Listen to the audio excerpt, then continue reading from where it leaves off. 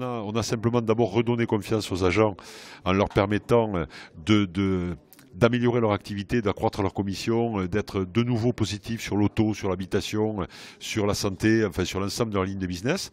On les a aussi amenés à rechercher la performance.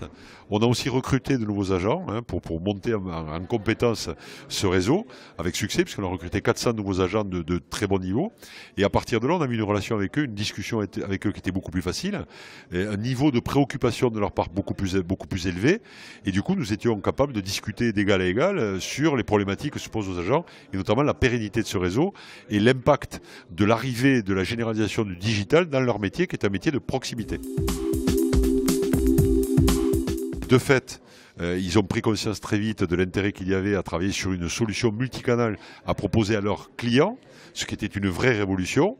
Et ils ont accepté de rentrer dans une négociation qui a abouti à une convention multi-accès, multicanal, euh, qui est la convention qu'on a signée avec 91% d'entre eux aujourd'hui, c'est-à-dire l'immense majorité du réseau, qui permet à leurs clients d'avoir accès aux produits d'Alliance, que ce soit en face à face, au téléphone ou par Internet et qui nous permet à l'inverse d'envoyer à nos agents la totalité de nos prospects qui souhaitent une intermédiation, qui souhaitent avoir un contact de proximité.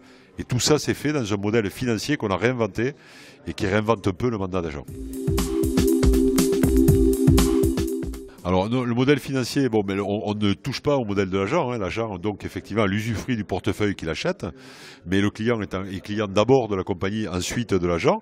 Mais dans l'esprit du client, il est client d'abord de l'agent, ensuite de la compagnie. Donc il faut, il faut travailler autour de cet environnement-là. C'est ce qu'on a fait. Donc le principe est simple quand le client de l'agent achète un produit online, le produit est affecté automatiquement et gratuitement dans le portefeuille de l'agent, puisque c'est quand même lui qui est allé chercher le client ou qui l'a conservé.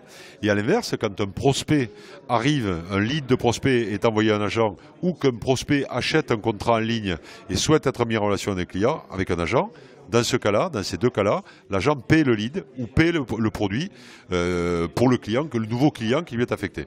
Donc c'est une relation très équilibrée, gagnant-gagnant, euh, euh, qui permet de garder le modèle du mandat tout en l'optimisant sur le plan financier.